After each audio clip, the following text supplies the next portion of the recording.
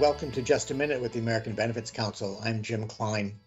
I want to take this opportunity to, to, remind you that, in addition to all of our legislative and regulatory work, the Council provides a wealth of resources regarding benefit plan design and compliance matters, and to help you and others in your organization fulfill your professional continuing education obligations.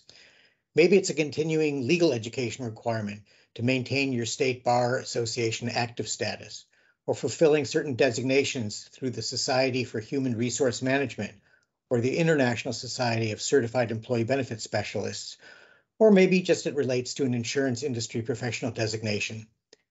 Please go to the webinar archive on the Council website to see the list of organizations for which webinar participation qualifies for continuing education credits. We're here to help you with certifying to those organizations your participation in the webinars.